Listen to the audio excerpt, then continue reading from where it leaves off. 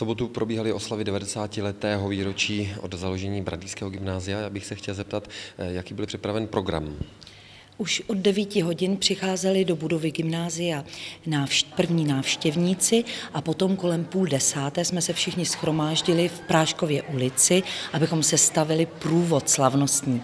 V čele toho průvodu šel eh, student Jiří Weigl eh, amplionem a řídil celý průvod a hned za ním následoval alegorický vůz, který byl plný studentek Můz, byl tam také Apollon a Diogenes, vůz byl opravdu tažen koňmi a bylo e, za ním potom šel, šla paní ředitelka doprovázená Janem Ámosem Komenským. E, šli jsme na třetí základní školu, e, kde k nám promluvil krátce pan ředitel Tomášek a po krátkém rozhovoru s Janem Ámosem Komenským jsme se potom odebrali na zámek, kde Jan Ámos Komenský vyvolal z nádvoří zámku arcivévodu Karla, který vlastně naše gymnázium jako reál reálné gymnázium založil. Paní ředitelka s Janem Amosem by se možná mohli pokusit ho vyvolat. Pane Arciveudo, slyšíte nás? Halo! Jsme rádi, že na zámku Brandejse vidíme tolik studujícího lidu,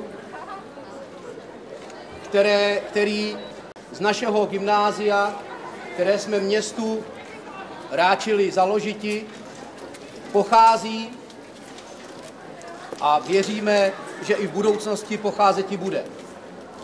Eh, potom jsme šli, eh, potom jsme uctili památku eh, padlých za obou světových válek u památníčku v Panské zahradě a cestou v Panské zahradě jsme potkali mm, Josefa Svatopluka Machara, který se připojil.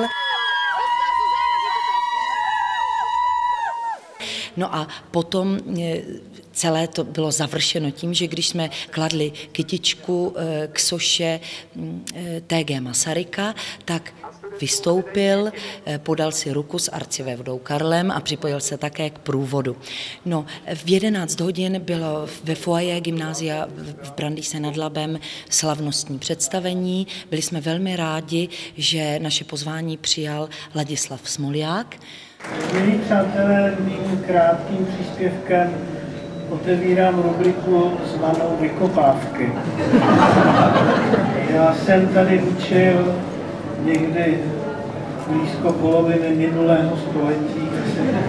Otřel jsem se o zdi této budovy jenom dva roky, ale přesto na ní rád vzpomínám.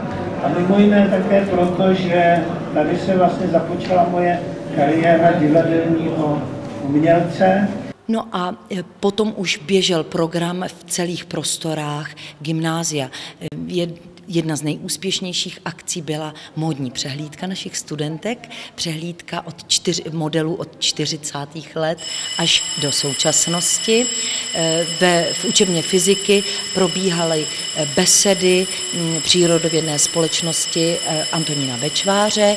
Byli jsme například velmi rádi, že promluvil doktor Dostál velice hezké a návštěvníky kladně hodnocené eh, bylo setkání literátů v takzvaném literárním salonu, kde byla pokřtěna publikace, kterou gymnázium vydalo eh, k 90. výročí svého založení.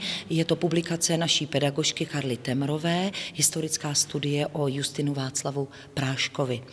No a ty oslavy trvaly asi tak do pěti hodin do odpoledne, ale neskončily v sobotu e, hned odpoledne v naší budově. Večer se ještě hrálo na nádvoří Brandýského zámku, kde se setkalo asi šest skupin e, z dávnějších absolventů i našich současných studentů.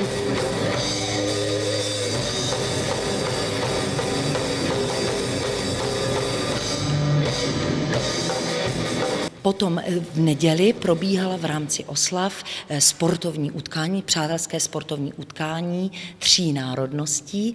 Tři národnosti Italové, Němci a Češi sestavili čtyři mužstva mezinárodní a zápolili v minifotbale, ve volejbale a eh, v běhu na 60 a 150 metrů.